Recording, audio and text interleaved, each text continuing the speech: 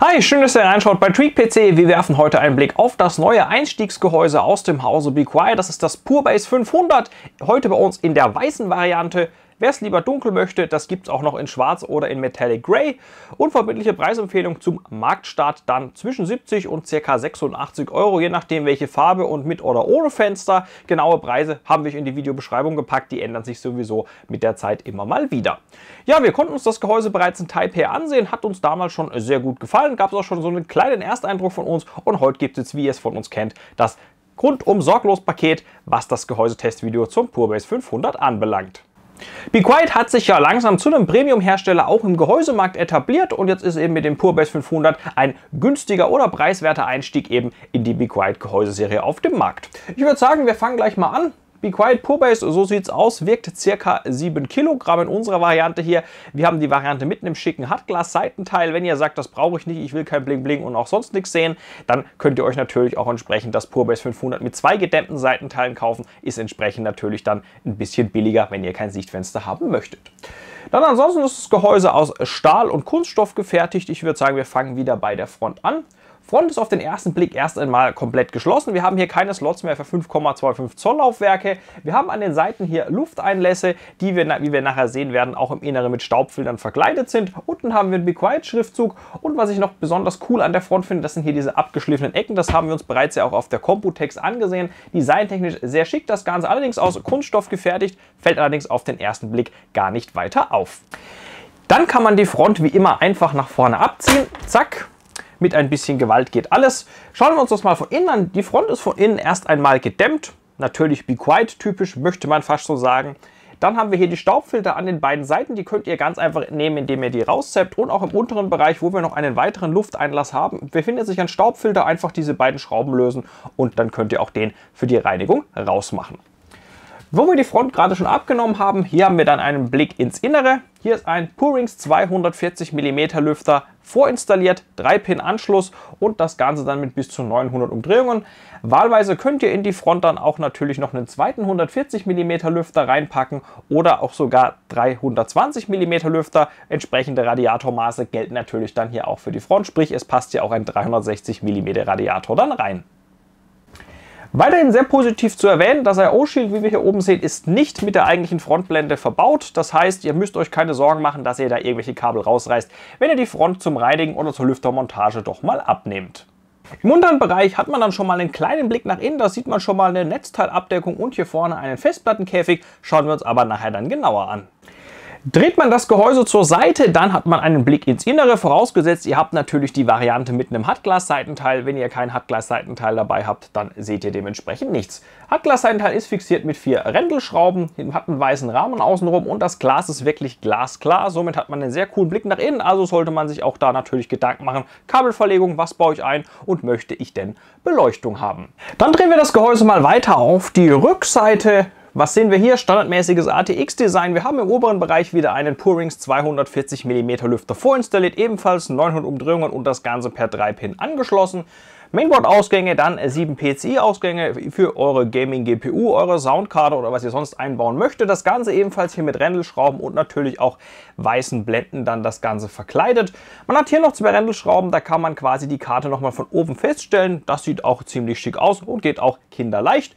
Und im unteren Bereich hat man dann eine Netzteilblende. Man hat sich bei Be dafür entschieden, dass man quasi das Netzteil komplett an die Blende dran schraubt, dann das Netzteil mitsamt der Blende reinsetzt und dann mit den vier Rändelschrauben fest festschraubt und zudem ist das Netzteil auch mit dieser Blende hier nach hinten hin entkoppelt. Dann drehen wir das Gehäuse mal weiter. Auf der anderen Seite haben wir dann ein weißes Stahlseitenteil, das ist fixiert mit zwei Rändelschrauben. In der Innenseite ist das Ganze gedämmt. Wenn ihr euch jetzt also die Variante dann ohne Sichtfenster kauft, wie angesprochen, habt ihr zwei Seitenteile, die von innen gedämmt sind und hinten die Rändelschrauben sind auch so fixiert, dass die nicht rausfallen, wenn die lose sind. Auch das ist ziemlich cool gelöst.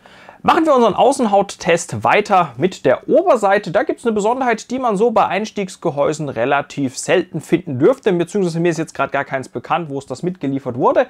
Be Quiet liefert mit dem PureBase 500 zwei Deckelteile mit. Einmal das hier, das ist standardmäßig drauf montiert. Ihr seht schon, das ist relativ geschlossen. Man hat hier oben ein paar Luftauslässe und entsprechend hier vorne ist es auch gedämmt. Und wenn man das Ganze dann mal abzieht, zack, dann hat man den sehr schönen Blick ins Innere rein. Das Ganze hier ist natürlich auch wieder mit diversen Luftöffnungen versehen. Man hat hier dann die Möglichkeit, 240 mm oder 220 mm Lüfter zu installieren, wahlweise entsprechend auch Radiatoren.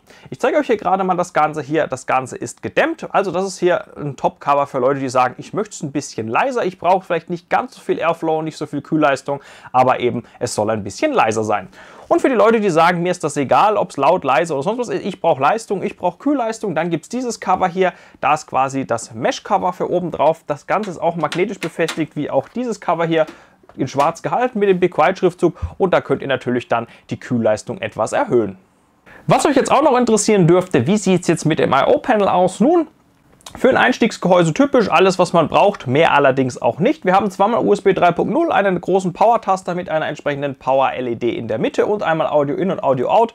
Und das wäre es auch schon. Was vielleicht schön gewesen wäre, in Zukunftsperspektive ein USB Typ C Anschluss. Allerdings, das ist wie gesagt hier ein Einstiegsgehäuse, daher I.O.-Pedal soweit mal bestückt, dass man gleich loslegen kann, aber auch keine weiteren Besonderheiten. Dann würde ich sagen, noch ein kurzer Blick auf die Unterseite. Da haben wir wieder standardmäßig vier gummierte Füße für, ihr wisst es, einen sicheren Stand. Und wir haben hier einen großen Staubfilter, der dann auch die Netzteilöffnung hier unten abdeckt. Den zieht ihr normalerweise einfach nach vorne raus. Dafür müsst ihr weder die Front demontieren noch sonst irgendwas. Also auch sehr einfach zu reinigen und einfach rauszuziehen.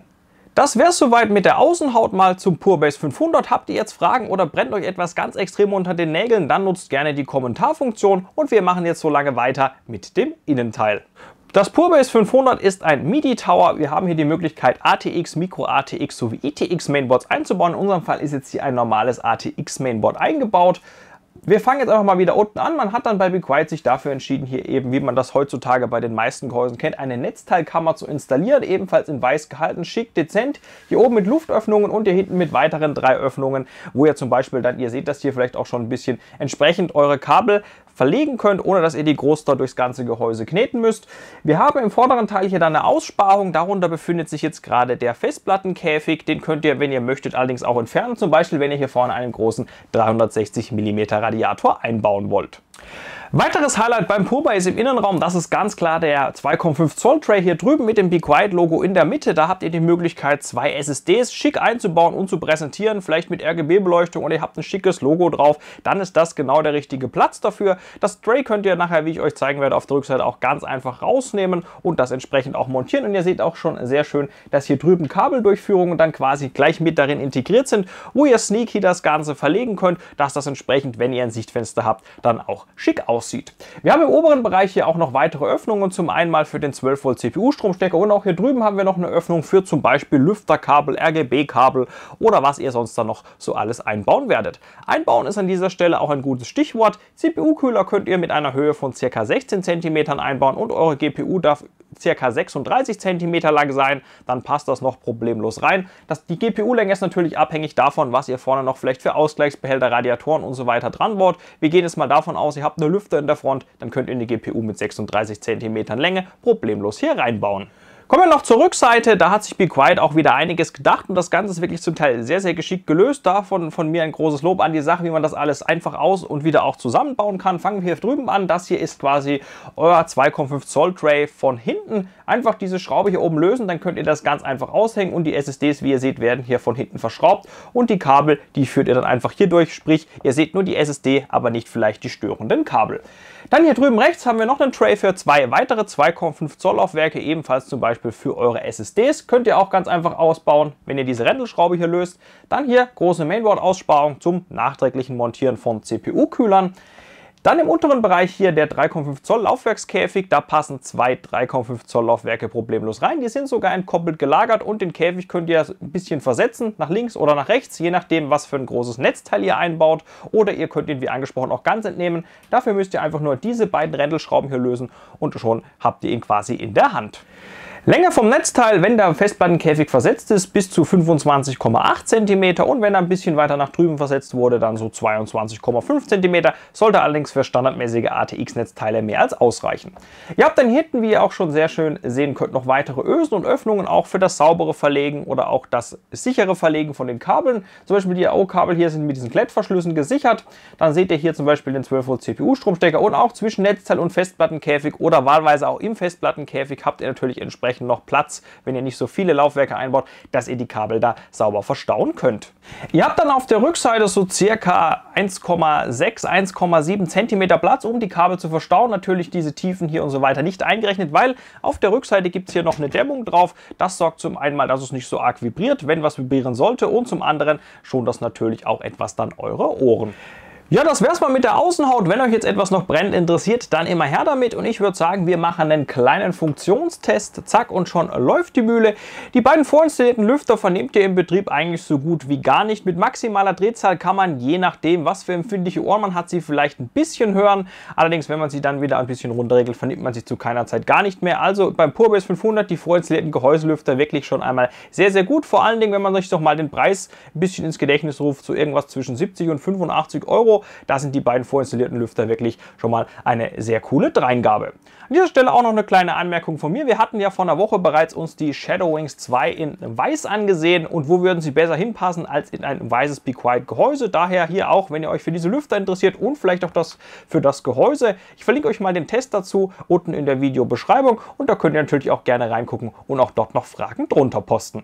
Be Quiet präsentiert mit dem PureBase 500 ein rundum gelungenes Einstiegsgehäuse. Das fängt beim Preis von ca. knapp unter 70 bis irgendwie sowas Mitte 80 Euro an, je nachdem welche Variante ihr da haben möchtet. Sichtfenster oder kein Sichtfenster, dann in schwarz, Metallic Grey oder weiß das Ganze. Es ist sehr kompakt gehalten, das Design ist schlicht, dezent, aber dennoch sehr cool und modern gehalten.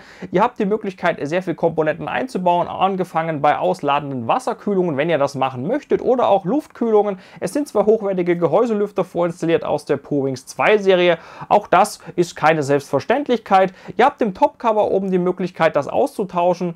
Malweise für Silent-Freunde das Ganze gedämmt oder wenn ihr sagt, ich brauche mehr Leistung, ich möchte mehr Airflow, dann entsprechend mit einem Mesh-Gitter. Auch das ist im Lieferumfang drin und auch keine Selbstverständlichkeit.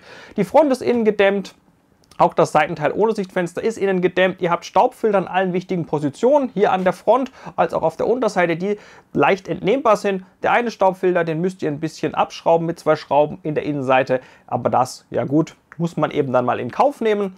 Was vielleicht ein kleiner Kritikpunkt in der Innenseite ist, zwischen dem SSD-Träger und dem Mainboard hätte ich mir ein bisschen mehr Platz gewünscht. Das ist zum Teil ein bisschen fummelig mit besonders dicken Kabeln, wie zum Beispiel dem ATX 24-Pin-Kabel, aber das ist nörgelt auf hohem Niveau. Ihr habt viele Kabeldurchführungen, ansonsten für kleine Kabel USB, RGB, auch für euren 12 Volt CPU-Stromstecker ist eine Öffnung dabei. Kühler könnt ihr reinbauen, ca. 16 cm in der Höhe, GPUs mit bis zu 36 cm, auch größere Netzteile passen unten rein. Auf der Rückseite habt ihr zudem die Möglichkeit, alle Laufwerksträger mit wenigen Handgriffen zu entfernen und auch wieder zu montieren. Das ist alles sehr durchdacht und sehr gut gelöst. Und von unserer Seite aus gibt es an dem Gehäuse, wie angesprochen, eigentlich nichts groß auszusetzen. Also, wenn ihr auf der Suche seid nach einem neuen Gehäuse, vielleicht sogar von Be Quiet und in weiß, dann solltet ihr unbedingt einen Blick auf das PureBase 500 werfen. Vor allen Dingen, wenn ihr nicht mehr als 100 Euro ausgeben möchtet. Denn mit einem Preis von ca. 80, 85 Euro ist vielleicht sogar noch der ein oder andere Gehäuselüfter extra drin für 100 100 Euro. Wie ist eure Meinung zum PureBase 500? Ist das was für euch? Gefällt euch das Design? Gefallen euch die Features oder brennt euch noch was unter den Nägeln? Dann schreibt uns das sehr gerne in die Kommentarfunktion. Ja, ich würde sagen, vielen Dank wieder, dass ihr bei uns reingeschaut habt. Ich bin der Jan. Vergesst nicht ein Abo dazulassen, einen Daumen nach oben und die Glocke zu aktivieren, wenn ihr unsere Arbeit unterstützen möchtet. Und dann sehen wir uns beim nächsten Test natürlich wieder.